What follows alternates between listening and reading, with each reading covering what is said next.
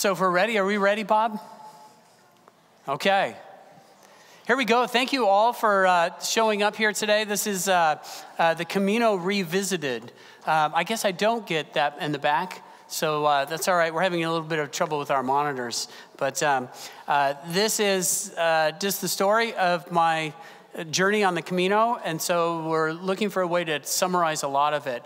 I, I do feel like there are so many facets um, to it that I want to offer as much as I can, uh, but not be comprehensive. I also feel the great um, pressure of anytime I feel like uh, when you do family slides or, you know, this is our vacation, and here's another picture. I, I don't want to overstay uh, my welcome here, but I want to give you enough of a taste, and I think there's enough here.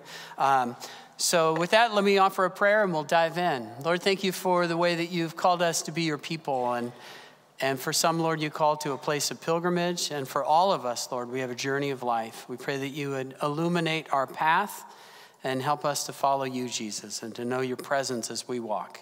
For we pray this in Jesus' name. Amen. So, the Camino de Santiago, someone was asking uh, just what is that in terms of the words. Uh, Camino is Spanish word for way. Um, and so when we talk about the El Camino Real, right, we've got that here in California, uh, the Royal Way. And so the Camino is the way, and Santiago is the uh, translation of St. James. So it's the way of St. James.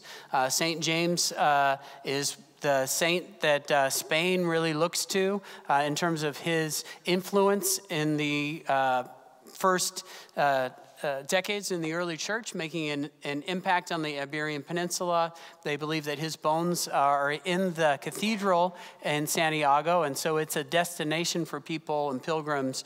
Uh, somewhere about the 10th century on, uh, that people have been walking to uh, Santiago in all those years. And so this is really a chance for me, it was an opportunity to be a part of a pilgrim path. Um, it's increased in popularity from the 1980s to uh, where we are now. Uh, and certainly uh, during the COVID close down, uh, once things opened up, uh, the number of pilgrims who were walking the Camino in 2021, 2022, and then this year. I'll be interested to see what the total numbers are. But uh, uh, I went on this journey, uh, and so uh, these are the the group of guys I walked with and arrived with on October 12th.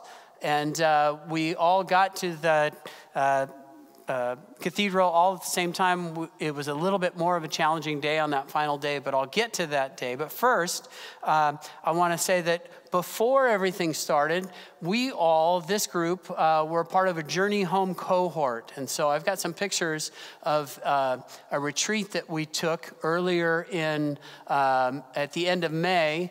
And uh, we all got together and we ate great food. Uh, we were telling stories, getting to know one another, and uh, it was really just a, a wonderful time together.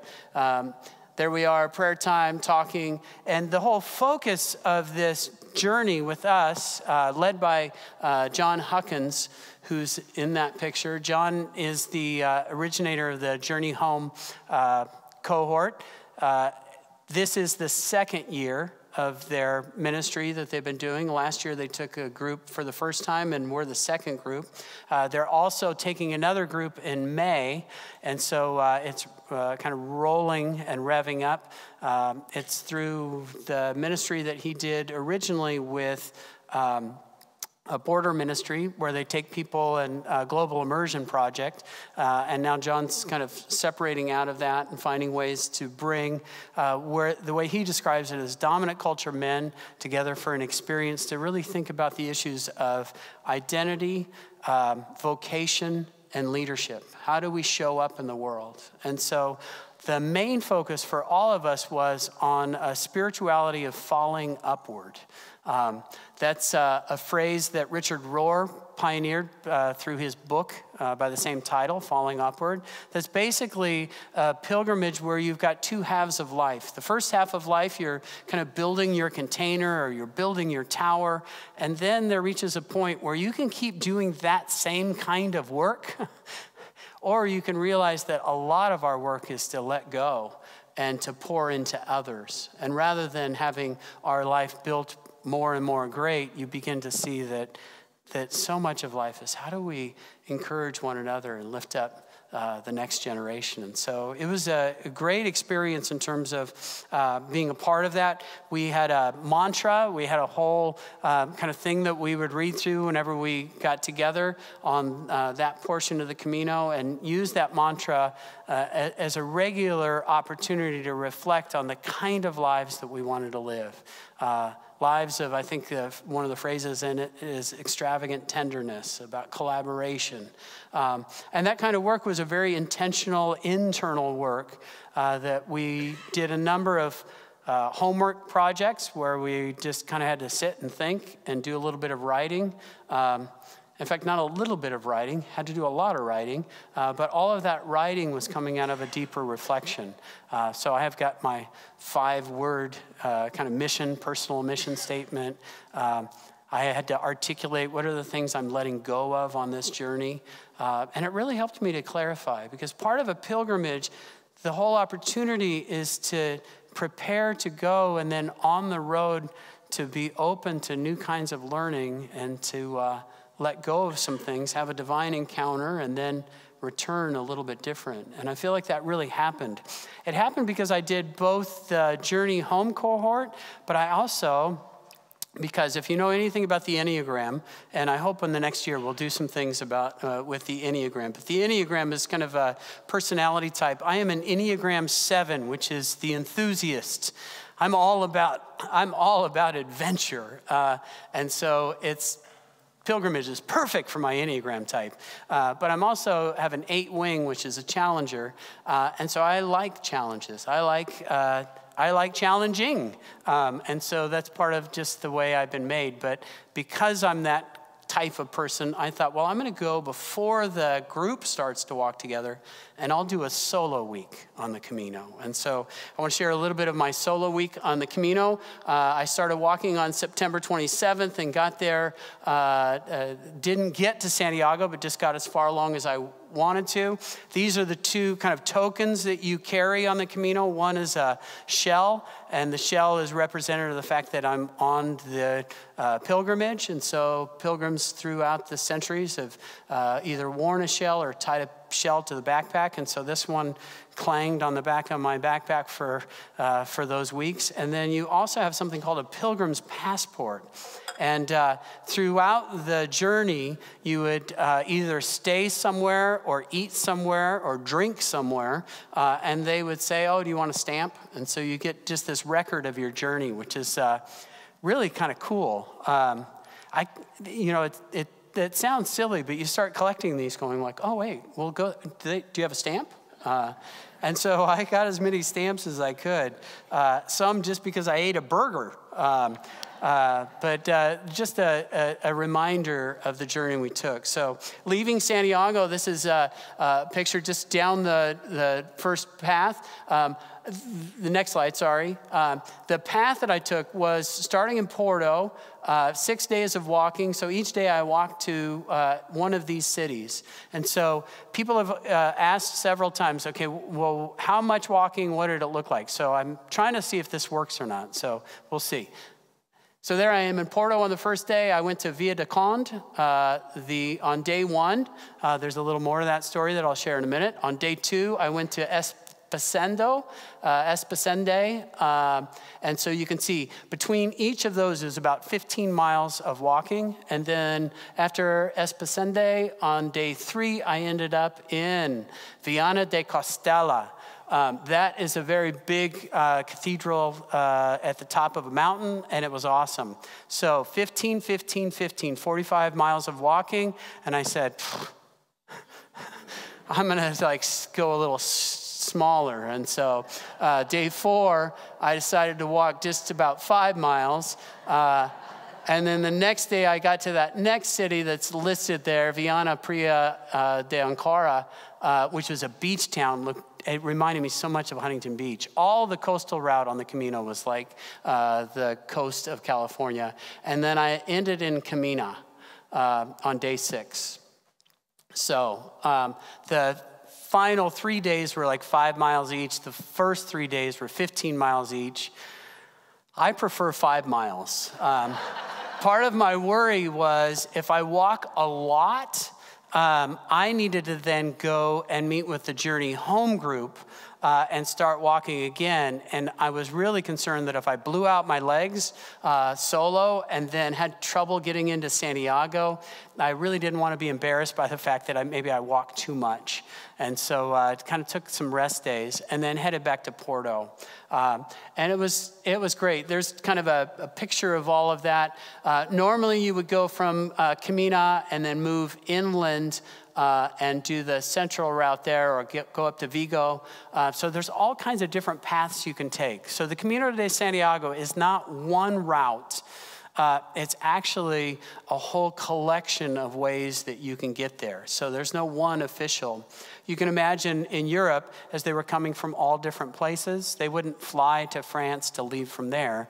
Uh, they would leave from wherever they are. And so uh, uh, it was a, it was a it was a great trip for me. I started. Uh, this is I think the next picture is me starting in Porto. See how happy I am and ready to go and fresh.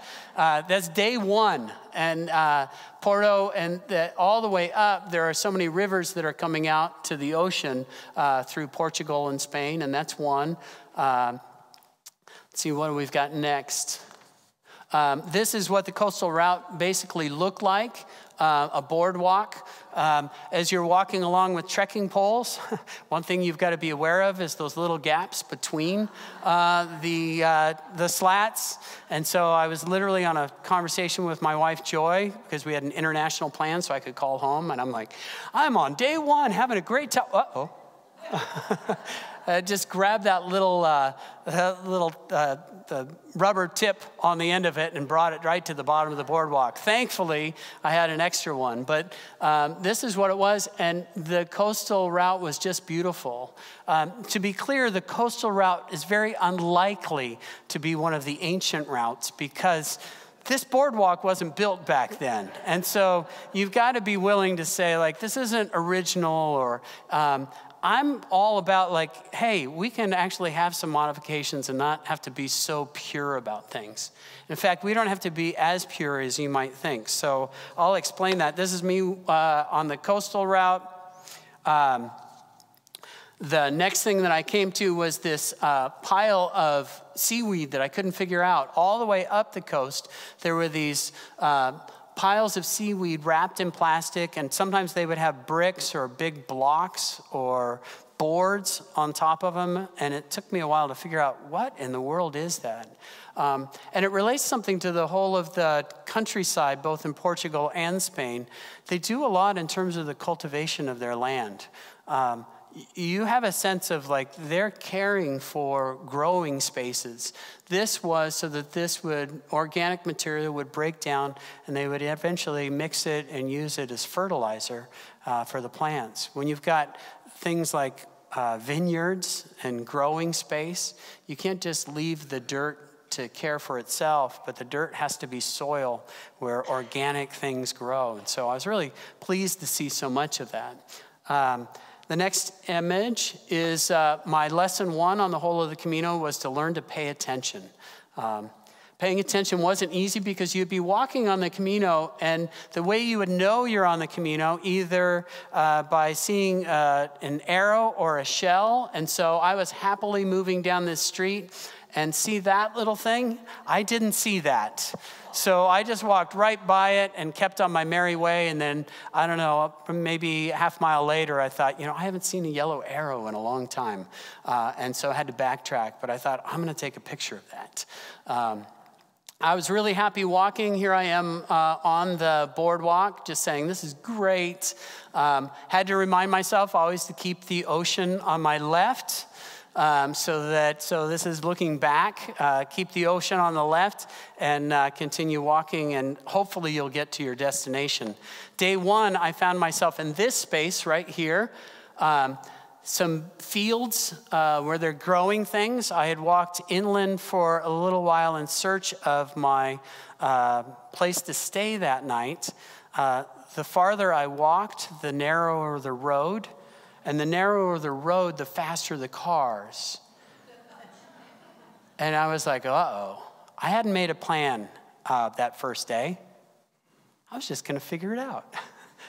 so I had to stop. And this is me contemplating.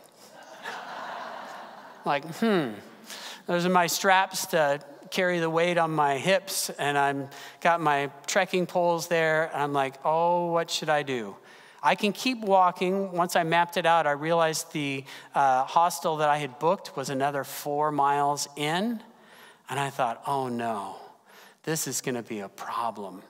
So, with my trusty phone, I found my Uber app. Because pilgrims I'm sure in the 13th and 14th century would have used every resource available to them. So I called an Uber and the gentleman came out. I got in the car. I was still fumbling around. The way they work with uh, addresses, totally different than us. Uh, I don't know, they just put things in different order. And so I had ordered this Uber. I got in the car, we're driving, and he says, I hear this ping on his phone. He says, Wait a second, how did you do that? And I said, Do what? He said, You just ordered an Uber to take you to the destination you were already at. he said, I didn't think that was possible. And I was tired. And I said, I didn't think it's possible either. He said, Where do you want to go? And I said, Well, I want to go. And I took out my phone and I said, Here. And just then my phone goes, zoom. It was dead. I didn't have it charged. And I was like, I don't know where. I'm trying to remember the name of it. So we finally figured out where it was. This guy was so kind. Uh, he's from just one of the neighboring cities. Uh, he's driving for Uber. Started sharing his own life story. It was a it was an awesome connection. His name was Ricardo Rocha. Uh, and he took such wonderful care of me because he took me out to the hostel I was going to stay at, but it was so far out. I looked at him and I said, You can't leave me here. And he said, okay. So he took me to the gas station because he needed gas. Um, he refused to take any money, and he plugged my phone in and charged it while we waited. And then he eventually took me to the next stop. And even uh, the stop of the at Via de Conde, um, stop there. I said, You can't drop me off right here in front of it. Can you drive down there so I can walk? Look like I'm fresh. So just so you know, following the sermon today, uh, day one, I'm a fraud. I'm a fraud already as a, uh, as a pilgrim. Uh, what's funny is that the, I was very, I mean, because of the story, I was a little embarrassed by all of that and feeling like, mm. the longer I walked in my solo week on the Camino, the more I found out that people had more Uber stories uh, than anyone else. And so, uh, you don't have to be a purist, but I would say that the lesson two that I learned for sure if you need help, ask for it. Um, and that, that's in so many different ways. If you need help, just ask for it. Uh, as I said, walking up, uh, the next slide is like on the California coast. There were um, spaces where the surf was pounding, uh, some of it over rocky shore, some of it on good surf breaks, and it just felt like we were kind of uh, uh, heading up the California coast, and it was beautiful. Rivers that intersect in all kinds of different places, and so you've got bridges that you've got to walk over. Um, but it's just kind of a meandering stroll along the, uh, the coast uh, as I got a little more into it, found myself in places that weren't so coastal, uh, but uh, surprising in different ways. The next two images are a hospitality station that just happened in the middle of like nowhere. We're all walking uh, up these uh, small pathways, and all of a sudden, uh, tents, refrigerators, food is all there and available. No one is attending it but it says that if you want to eat something, take it. If you want to leave a donation, leave it. Here's a stamp if you want a stamp. And it was just an amazing, like, wow. Uh, I don't know exactly how they, oh, that's good. I don't know how exactly they make it all work, uh, but they do. Um, and so if you go back one, if you can go back. Uh, yeah, this woman here is from Scotland. Um, she's working on her doctorate uh, in musicology, and in her backpack, that is a very oversized backpack, she has an amplifier. Uh, walked with her, you'll see her in another picture. Walked with uh, her and some other friends for a few days, but it was just amazing. Um, this is the picture of all of us. The picture before that, we had been eating together at two different tables, and both the tables started going back and forth. And so you just start through conversation. It's one of the few places in the world where you can just, hey, we are. Um, uh, we're all on this journey and we're all open to talking and conversations and friends. And so you start walking together. Um, this is us going across the bridge into uh, whatever city was next. Um, there we are, and following the arrows and the shell. And uh, it was just a fantastic time. Uh, you end up in places uh, like this, to the next one. Uh, this is where we got up to via uh, Castella, or Castello. Uh, was a cathedral that uh, is at the top of this mountain. We actually took a trolley or a train to get all the way up to it. Uh, it was just too far to walk, uh, and then stayed. And the the sunset was just absolutely incredible. Um, that's what it looked like a blanket of clouds. You can see the city underneath and the, the water out there. Um, but the beauty in the whole of the place was just amazing. I think the next picture is leaving that city. Um, they do all kinds of things that just highlight the beauty of it.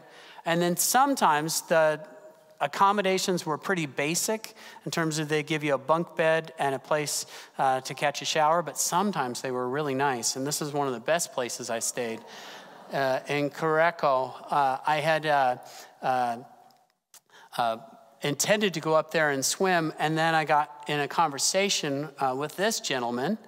Um, his name is Matthias, and Matthias owns a canoe business in Germany. And uh, we started talking, and he shared some things that were just uh, powerful to me. Uh, some of his uh, frustration in terms of uh, what the church sometimes does, in, in, terms of manipulating and using people. And uh, I, I, had had just to listen. He didn't know what I did yet. but even when he found out, he was really agreeable and just we had some uh, great conversations. We ran into each other a number of times, which is the way it all works. Um, if you try too hard to keep what you have in terms of like the people you meet, uh, sometimes you're going to meet them and have a great conversation and it'll go deep, or maybe it'll just be on the surface. Uh, you might run into them again. You might never see them again, but you just have this sense of uh, appreciating what's there. With him, it was good. I think the next slide I say that uh, the resistance to religion is real, and, and it's often rooted in experience. Sometimes people have stories about why uh, faith is not something they're interested in, and sometimes uh, it's good just to hear them out and to come alongside and try to understand what is it that we need to do to do something different. And so uh, I think one of the most powerful uh, conversations I had was around this table uh, with some of the people from the walk earlier, and we just had a fantastic time talking about uh, God and our lives and meaning and why we're walking in the Camino. And so uh, the one girl uh, just to the right of Simon, uh, her name was Leaf. And I was saying to them that I believe that my whole life, like what my purpose is, is teach people to love. And I asked them, Does that sound silly? And I was feeling a little bit like it did. And they were like, No, that's a very, I mean, that's important to do. And I said, You know, I want to teach people how to love God. I want to teach people how to love their neighbor. And then Leaf uh, said, Well, what about yourself? And, and that was one of the more powerful experiences. I realized that our Christianity can't be kind of a heroic, love God, love people. We also have to do it out of the reality that we ourselves are loved by God and how good it is to belong to a community where we continue to remind ourselves of that. So, going from there, I walked this uh, uh, picture where I think that is so much like Huntington Beach. Um, I actually got into that town, the, uh, the ocean at the time was locked in with fog. And so um, I didn't know what the surf out there looked like. Stopped by a little place where you could rent a board, thought seriously about it. And then I thought, no, I don't think I'm going to surf in Portugal. Uh, but it was very tempting. That night, I actually spent a lot of time um, uh, just on the little boardwalk there. The hostel I was staying at was right on the beach. Um, I think I paid 15 euros for it, so it's a pretty good deal. Um, and uh, uh, sat out there with Matthias, and he and I just uh, ordered beers from the bar, carried the beer steins over, and sat on the beach and just had a great conversation. Um, so different than you can do here. Um, the regulations there aren't quite as strict, but it was just a, a, a wonderful time. Um, and it got me also, I don't want to sound like the whole time I'm just, you know, going from one party to the next, uh, but the whole walking, uh, that sense of devoting yourself to, to a single task as simple as walking and then spending hours at a time focused on that uh, made me consider what contemplative walking is all about. It's about, as you walk, learning to listen to God, uh, learning to listen to others, and learning to listen to yourself and, and just the rhythm of it or the, the intensity or the, the length of it after a while becomes the sense of a contemplative uh, experience. And you don't avoid your pain, you also become very aware of it. I'm thankful that uh, up to this point, I didn't have any blisters. And I was feeling so proud of the fact uh, that I didn't have any blisters. I felt like my legs were in good shape. Uh, thanks also to Charles Whitney, uh, who before I left, Charles, uh, uh, who does amazing work as a chiropractor and a therapist uh, related to muscle work, worked out my legs in a way that I'm not sure I would have made it without his help. But you get to that place where your, your body is kind of in tune with all of it, and it's, and it's deeply satisfying. Um, but where I didn't get a blister, one thing I did is I ruined a toenail, uh, ripped it right up. Uh, and so uh, I've got this little uh, purple nail on one of my toes, on my right foot. And uh, everybody kept saying the same thing. I don't know. They were like, oh, good, you'll have a souvenir when you get home. And, uh, uh, it's growing out, so it's, uh, it's the least of my worries for sure. But when I talk about listening to others, this next uh, picture was just this little, I, I don't know if it was a small little church gathering. On the other side of it that you can't see, because um, I didn't know until I got around there, uh, there was a woman selling bracelets. And I almost bought a bracelet, but nothing really fit my style, and so I didn't. But she gave me one of the uh, best uh, instructions or just uh, what to do in terms of the walk ahead. She said, When you get up to that place and the yellow arrows turn you to the right, just stay to the left and keep on walking along the coast because you'll meet up again with the Camino and you'll be able to walk all that as coastal and you'll miss all the commerce that they're trying to move you into. So if you, if you need something at the store or you want to buy something, go that way. But uh, it just is a reminder that in some ways the Camino is a mix of, it's not purely religious or spiritual. Um, it does have some uh, tourist uh, things to it. So I stayed on the path and there it was, walked up there and just had a blast. And actually, when I got up a little bit farther, I decided, uh, based on my friend Matthias, uh, I decided to kick off my shoes and walk barefoot for a while. So I took the little carabiner on my backpack, tied my shoes on, and just started walking. Um, you'd feel the little, if you look at the path there, those are pine needles. And I'm like, ouch, ouch, ouch, okay. I'm gonna get them. There were some larger sand places, uh, but got all the way to the beach in Caminha and just enjoyed uh, in the sand. Um, walking. And this probably was one of those days that I felt this sense of like, ah, I knew it was day six. I knew it was the day that I was going to be finished walking my solo time. And so I literally was just kind of like going like, oh, I'm so grateful. I'm so happy. Um, and, and it was wonderful. I started writing in the sand, and so I wrote on the way outside, which is kind of my tagline uh, of life. I think that all of my life, I want to be on the way outside. And part of it is the way of Jesus, but also Jesus always going to the outside to be with people right where they are. And so I wrote some other ones. Uh, I Heart Joy was one of them, so I sent that home. Uh, but uh, as I was there in my ears, uh, there was a song that meant a lot to me uh, through this. And these are the lyrics for it. I'm not going to play the song. Um, but it's a song from an album called Sanctuary Songs, uh, done by a group called Porter's Gate. And Porter's Gate's offering these songs because they believe that these are healing songs, songs that we need in terms of our relationship with God. And this is one called Centering Prayer that I thought was just brilliant.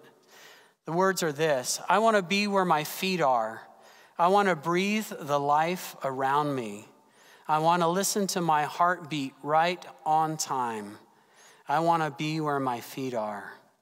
I chase my worries, I flee my sorrows, but what you give me is now. So take my burdens and my tomorrows. I want to be where my feet are. The second verse goes like this I run to capture the next horizon, but what you give me is here. I get no farther and still I find you. I want to be where my feet are. And so for me, this was a great conclusion to the, to the week of just kind of being present and, and the gift that God gives us when we are right where we are and we know we're where we're supposed to be. And so from there, the shift comes because we go from that to, uh, again, some more uh, beautiful boardwalks in my backpack there. We go from there to back to Porto to, the, to welcome the Journey Home group. So uh, in Caminha, I caught a fast train going all the way back to Porto, which is really kind of sad. You realize I've been walking six days and I got back to Porto in about an hour. Uh, so it's just this like, whoa, uh, technology and what we're used to. Uh, I mean, think about it. Uh, we typically don't walk anywhere in our society today, other than if you get a far away parking spot and have to all, walk all the way to Trader Joe's. Um, but we usually typically don't walk. So it was kind of a, a, a jarring moment when I realized how fast uh, uh, I could get back and how, how far I really didn't, how far I didn't go. And so uh, uh got back to Porto, and I've got a series of pictures here. It was the Journey Home Group gathering. Uh, that's Max uh, there speaking. Uh, we had our first dinner on October 4th. Uh, I told the director, Jon Huckins, I said, you know, it's been a long time since I've had a date ahead of me that I've been more excited about. But I knew that on October 4th at 5 o'clock that I would be in Porto, Portugal, gathering with all of these friends. And I think the last time I had a date that I was as excited about was uh, May 14th, 1988, when I got married, five o'clock also. Uh, so it had been that long till I really had something like drawing me. And so there we are uh, enjoying our time around the table. Uh, we were just getting started. One of the things I liked, because I was there without any jet lag, everyone else was coming in. They were all seeing Porto for the first time, but I had been there before. And so there was this sense of watching them watch the city was fantastic. So, going to the next slide. There we are at the top of a bridge. Uh, we were excited to be there. Uh, everybody had made it. Uh, we walked from there across the bridge to the other side of Porto. There's Max uh, taking pictures.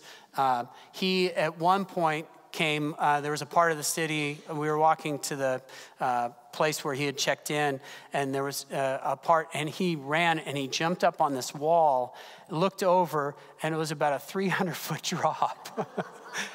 but he was so excited, he was like, oh, and then we stepped back off. Uh, but it was just, uh, it was fantastic. There I am with this group. Everybody was gathered up here for one reason, and the run, one reason was just to watch the sunset. So there we are, all talking. We're all kind of checking in. And I think there's a one final sunset shot. Yeah. I mean, it was just beautiful. Um, the thing about that is that you do have this sense of a different pace of things. I realize when we go places on vacation or whatever, it's that different pace that really is, is, is so uh, it's so good for our soul. Um, instead of the hurrying, going, doing. Um, so many people just gathering to watch the sunset. Next slide. So, eight days to Santiago. Um, I think I uh, post, go ahead to the next. Um, this is the, the plan. We were going to go from Porto by van. We went up to a place called Ponte de Lima, and then each day uh, we had these gaps between. I tried to make the same kind of like, uh, hey, you can see a map, uh, but it didn't quite work out as well. So just know these are big gaps between these cities. Uh, this is a, a, lot of walking. We went from Pontevedra, we went to this uh, monastery uh, which is a part of the spiritual variant of the Camino. That area has a way that's not on the regular Camino, but is a spiritual variant that takes you to a monastery. And where do you build a monastery? At the top of a mountain. And so not only do you get to get up that mountain, you then get to get down that mountain and back on the Camino.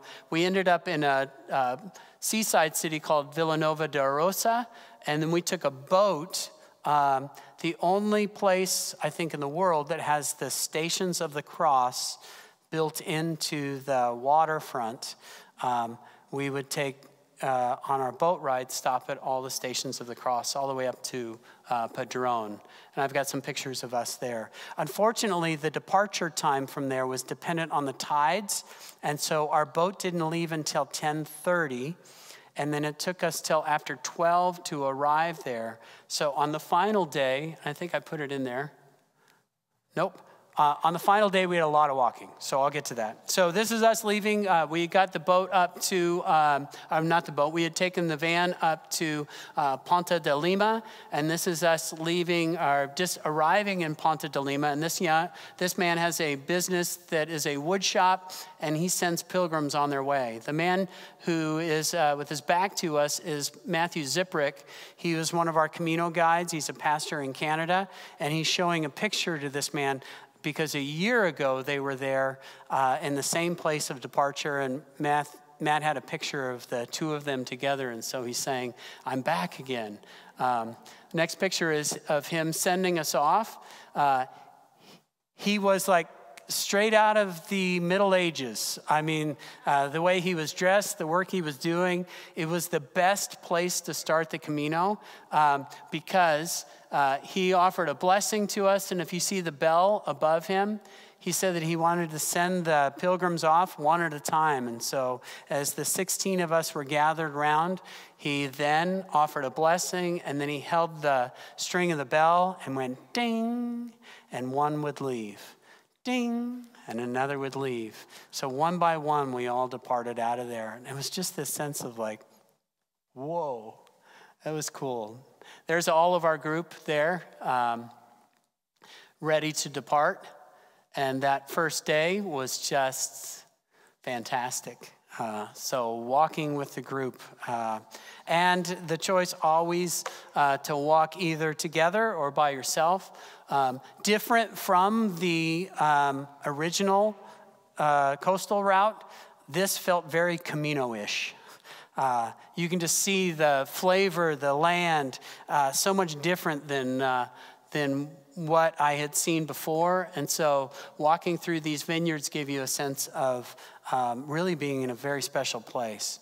Um, this picture in uh, actually was deeply moving for me. Each night we would like check in and say what's uh, what we observed, what was going on in our day. And this particular picture uh, or this particular uh, view really caught me. Those are very thick um, uh, olive, or not olive, they're uh, wine uh, branches going up. You can tell it's been cultivated for a long, long time, and yet there are new branches growing off it. And I just thought, you know, wherever we are in life, we may have been around here for a long time to be those thick branches. If we're tended properly and carefully, new growth keeps coming out. And I just kind of marvel at the beauty. And, and part of it is, is the, uh, the care of the people for the land that they have. Um, that it's not just all commercial property with houses, but it's a place where things are growing. And they're growing because they fertilize it and take care of it. And one of the things that really caught me was the smell. And I mean the smell, right? Sometimes the smell, woo!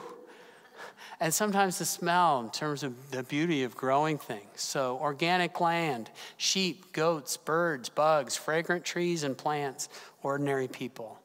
I think that fragrance or smell is one of the few, or maybe it's the only of our five senses that actually moves us to a place of contemplation. Have you ever had an experience? You can't hurry up smell, can you? When you smell something, what is that? And, and you've got to think about it. Sight, you can get overwhelmed. Sound, overwhelmed. Smell, there's something about us that, about it that really slows us down. And I would say uh, the other place that I experienced the same thing was Costa Rica. The sense of like, just the way the land smells different than California. I think we try so hard to cover up any thing that doesn't it isn't pleasing. And I, am not saying that it smelled so great all the time. I'm just uh, was more aware of it, and that that somewhat surprised me. So we continued on walking. This is another pathway. Uh, you can see that yellow arrow there, just tucked in. That's the thing you're always looking for to make sure you're still on the Camino. Next picture is uh, uh, Luke, who's from Minnesota. He was there. Yeah, we both had the same shoes only all the material that made one of my shoes, um, uh, or one of his shoes, probably made both of my shoes. He wore size 14. I'm a little petite, uh, size eight and a half. Uh, but we're sitting, this is the uh, fortress in Valença.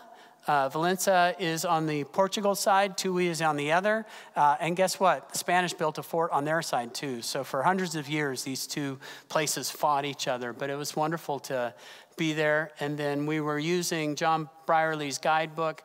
This is uh, Billy. Uh, our Catholic interpreter for the whole of the trip. Uh, Spain is a very Catholic country. Uh, Billy was on with us. He serves a Catholic school up in Northern California. He was fantastic. Uh, he actually read scripture at one of the places uh, where we uh, gathered for worship in the service for the people, and it was fantastic.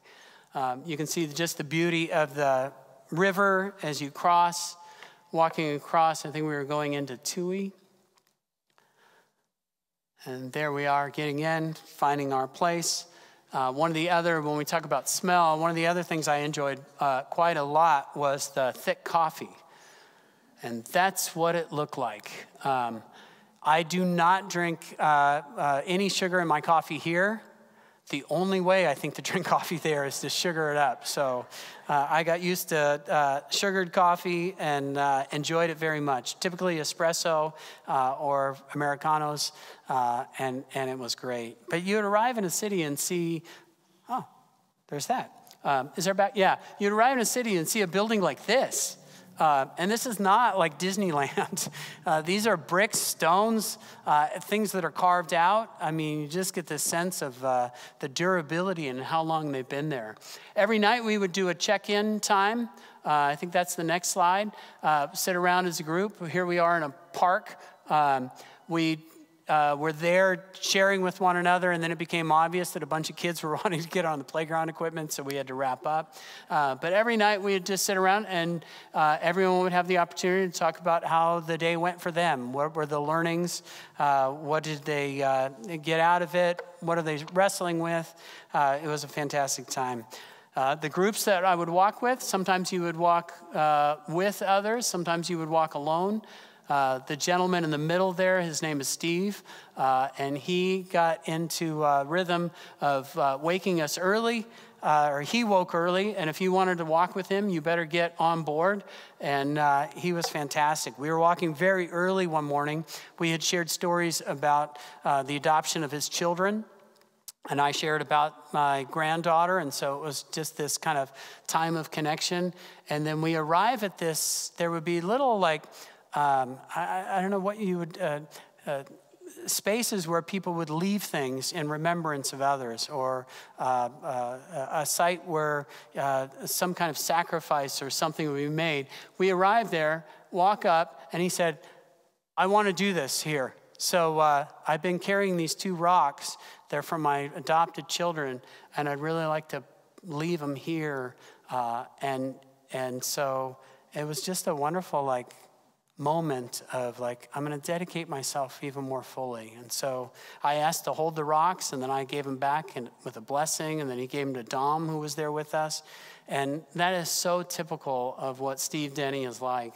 He inspired me so much in terms of his enthusiasm for walking. It was a it was a powerful experience and he's a good friend. Um, you would go across places um, where um, this is Matthew Ziprick. Uh, you would be coming up on locations. Uh, the bridge ahead of us there is a bridge that was built by the Romans. And so you know, as long as different from the um, different from the uh, places like uh, boardwalks, you know that the Camino always had that as one of the elements to it. So there it is, uh, built by the Romans, first century. So as long as the Camino's been walked, uh, this has been a bridge that uh, carried uh, people across. Uh, reminded me, like, I want to make it sound like all that we did worked really well. There was one experience we stayed at a hostel, and uh, the hostel was uh, not just for us, but there were had multiple rooms, and uh, a lot of those rooms were occupied with a group of high school girls. Um, noisy high school girls. I think there were probably 40 or 50 of them, and they were kind of loud. And uh, for one of the rooms, they kept uh, one of the adjacent rooms that was connected to them. I think they made noise all night. And so some people in our group woke up and were a little irritated by it, one in particular. And I won't name names because I don't want to put him on the spot. And it was not me. Uh, but he was walking uh, the next day and he was, you know, trekking along and still feeling a little grumpy because he didn't get a good night of sleep. And just then he looked ahead and thought, oh no, there they all are. I really, he, he said he'd really love to like chart a path around them, but he realized he needed to walk by them. And so as he's walking by, they stopped him and they said, oh, would you please take a picture for us? And he was like, oh, okay. And then he started realizing that he was maybe a little grumpier than he needed to be. And so he took the camera. And so he took the camera and they got them all lined up. And he took the picture. And he said, just as I was handing the camera back to them, they all at once said, Thank you. And he said, they didn't even count down. You know how you count down for that? Usually you like go, okay, one, two, three, thank you. And he's like overwhelmed by it. And he said that it just so softened him. Like, you know what? Sometimes you need to get outside yourself and serve other people. That was one of my favorite stories that was shared one of the nights. Uh, we got to a place called Pontevedra. Uh, Pontevedra is a uh, place on the route. That's Micah. Micah serves a church called Awaken in uh, Minneapolis. Uh, and uh, we had some great conversations. Their church has six practices that they do, and one of the practices is pilgrimage. And so we started talking about pilgrimage. This is how he frames it. He says, Pilgrimage is um, preparing, uh, leaving something behind, and then having that encounter, a sacred encounter, and then returning. And it was actually that comment about returning that helped me realize after I had been back from the Camino a few days, is all I could think of is, I want to go back. And then I realized, you can't. I mean, you could another time, but you've got to return. You've got to come back. You can't just be on the perpetual vacation. And so uh, that was helpful for me. This next image is my favorite image of the whole. This is us leaving Pontevedra uh, in the early morning. If you, wa- if you would walk early in the morning before the light would come out, you'd be much better off uh, later in the day. So you don't have to necessarily walk in the heat of it. Go to the next. This is the spiritual variant. And just so you know, the spiritual variant um, was a challenge. Go to the next. We're uh, at the top of the hill. Those are the other two stones. I didn't know it at the time, but those other two rocks that are on the um, uh, to, to the left of the picture there, those are the two rocks that Steve Denny carried all the way up the mountain uh, as another token of uh, how he wanted to serve the Lord. I was like, God, this guy's, I mean, I would just take a couple pebbles. I think that could get the same thing. But the spiritual variant really was a place where we went off. Uh, there's a monastery up there. We were part of the service there, a blessing of pilgrims. Uh, but on the conversation up there, as I mentioned earlier, Max had a conversation with a group of women from Brazil. And people walk the pilgrim or walk the route for all kinds of different reasons. This was a group of women who were walking the route with the intention of experiencing healing in their lives because they had all suffered the trauma of physical abuse from their husbands or boyfriends. And in conversation, Max was saying why we were there. That we were there as a group of men seeking to live the kind of life that was about lifting people up and not tearing them down. And so I think that he even shared the mantra, our mantra, with them so that they would hear it and know.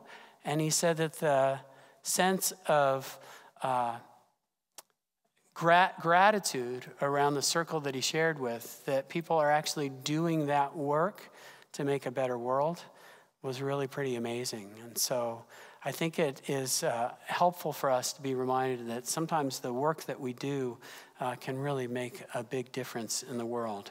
Um, this was the, uh, the monastery at the top. By then, I had caught a cold.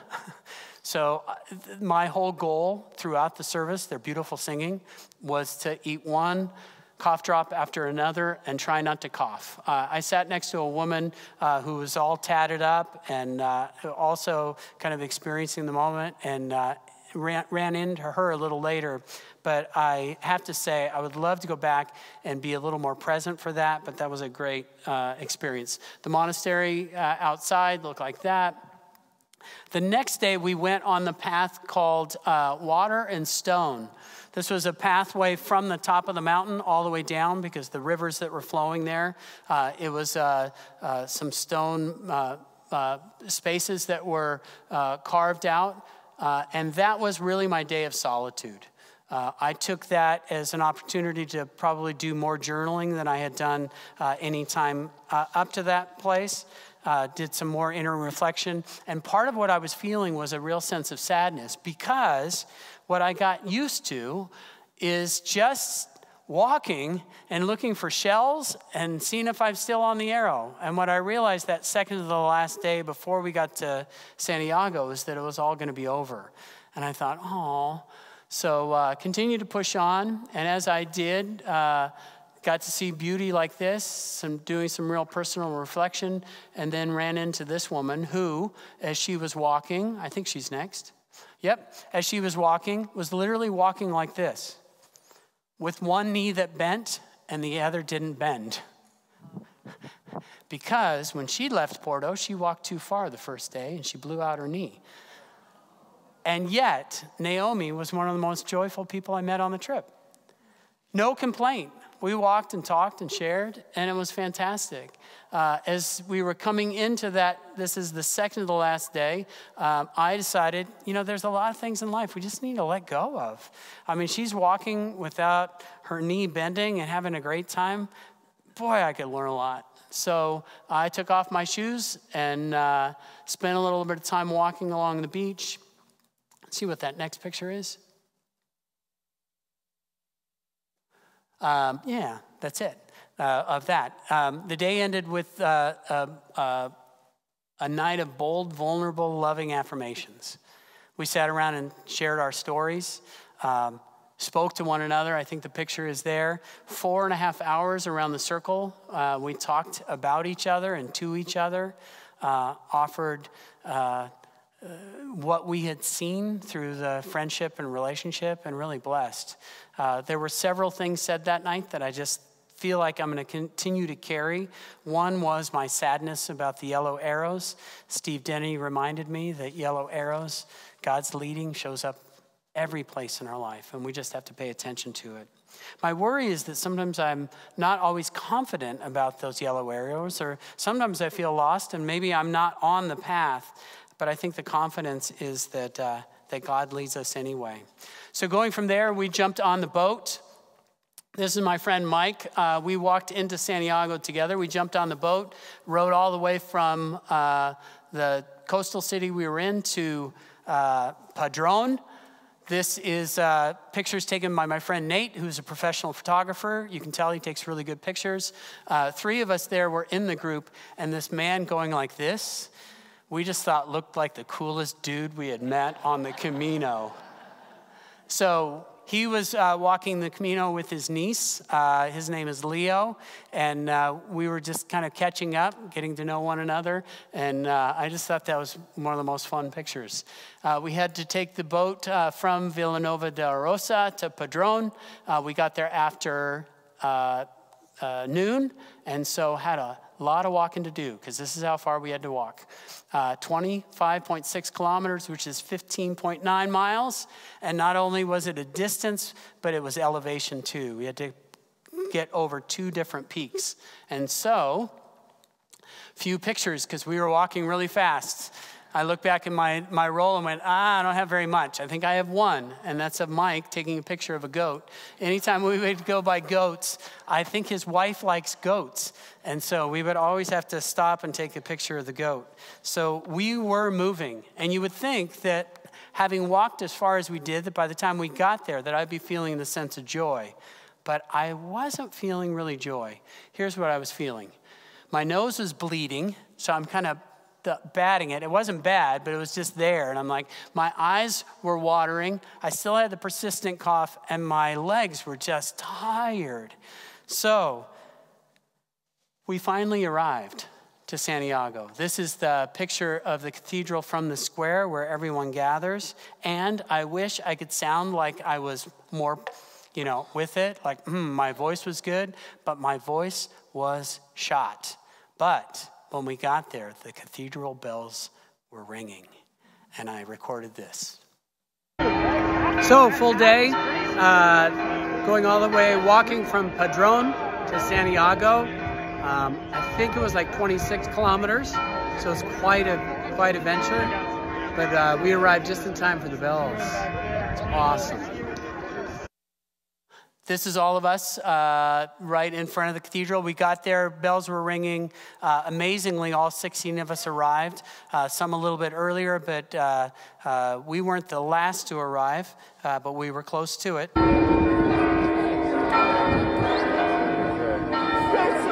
So we all just got into Santiago. Pictures.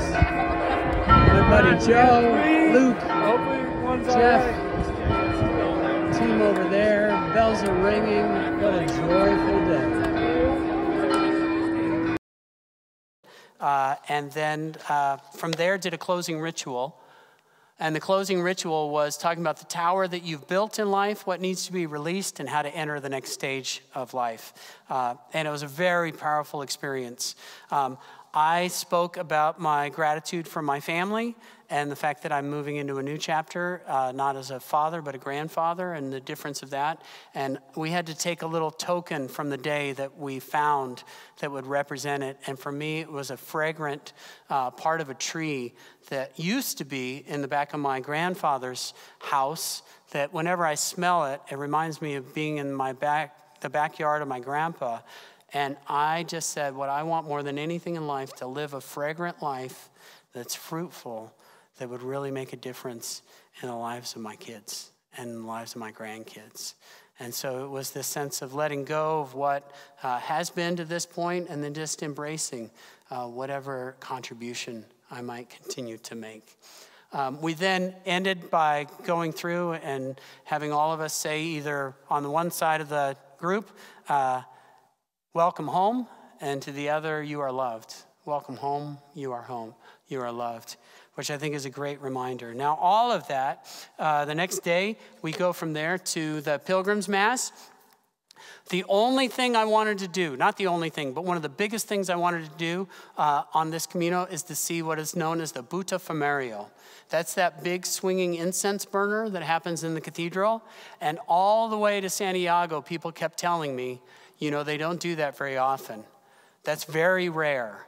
And so I thought, oh, that's what I wanted to see. So we go to the Pilgrim's Mass, and when we get to the Pilgrim's Mass, there is the biggest line you've ever seen. A bunch of people all over waiting to get in. It was so much so that I wasn't sure we were going to get in. But we got in. And then it happened. I got to see it. This is not a picture I took, this is a picture I found on the internet. Um, and I decided this is uh, not a picture I took. This is a picture. This is, let's see if it plays. This is what my friends played.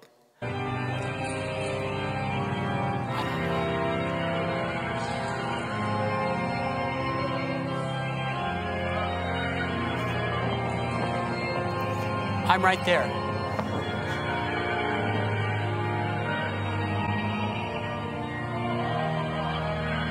So I'm sitting there. When I realized that they were going to do it, I found myself just overwhelmed with like, because I was trying to get out of the cathedral just before it happened because I was just making a poor decision and they wouldn't let us out. And I was like, okay. So grumpily, I go to the front. And as I'm going to the front, the six guys in those red capes walk by, and I went, oh, And at that point, I just became overwhelmed. I started crying. I mean, I was just like, Whoa! I'm crying so, like, I can't believe that I'm here. And, and as I'm crying, there's a family there. Um, and the woman looks over at me and she's like, Are you okay?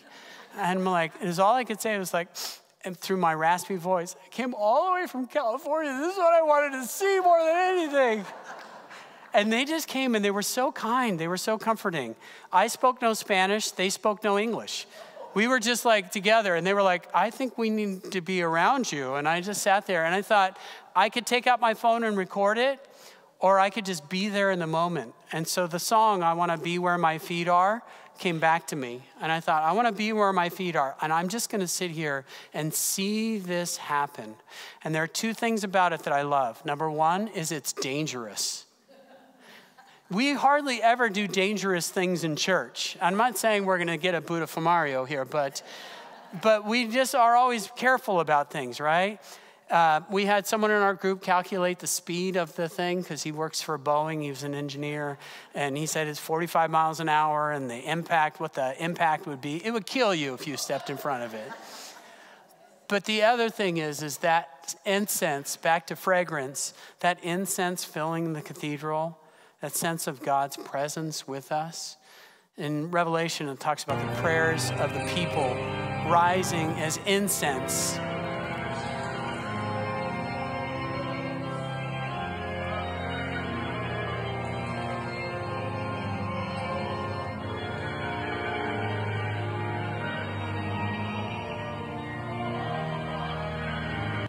It was spectacular. it was awesome. So I just had that moment and I was so grateful for it. After that, and I'll be quick here, I'm wrapping up. So uh, after that, there was a final ritual that we needed to observe, and this was a ritual of ink and friendship. Um, the ink is on the back of my leg, permanently a uh, tattoo. Uh, this is Mike's tattoo. I walked into Santiago with him, and then he wrote this is our from our whatsapp uh, group thing if you walk into santiago together you get a tattoo together steve wright's turn and so on the back of my leg i have a shell and it says buen camino which is the blessing that pilgrims offer to one another and so I thought, like, my day is complete. I've gone to the Pilgrim's Mass. I've seen the Botafumeiro. I've gotten a tattoo. Like, how could this day get any better? And I start walking around Santiago. Who do I run into? All of these people. I met Robert in Caminha. I met Reed on the very first day of walking out of Porto. We ran into each other again on the spiritual variant, and we ran into each other again in Santiago. The uh, uncle, along with his niece, uh, Julio and Leo, were there.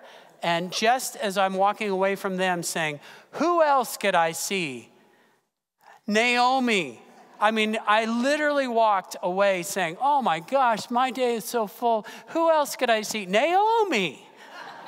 so she walked up, and it was just this sense of, of friendship, reunion, feeling so full and grateful. So I'm walking along, trying to get back to my room, and I realize once again, I am lost. Because I thought it was this direction. And so I'm wandering this way, thinking I'll go catch that road. And then I realize, I look on my phone and realize I'm walking in the complete opposite direction. So I turn around and I start going back. And as I'm going back, those were the families that comforted me in the cathedral. I look up and I see and I'm like, oh my gosh, there they are.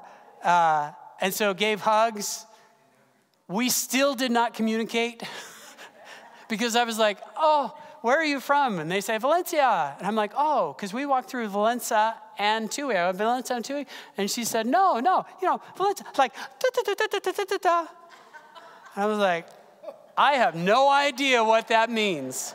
So if anybody here knows what da, da, da, da, da, da, da, means, uh, let me know. Um, but they're from a place where that's common, I guess. But it was just a, a real sense of everything coming together.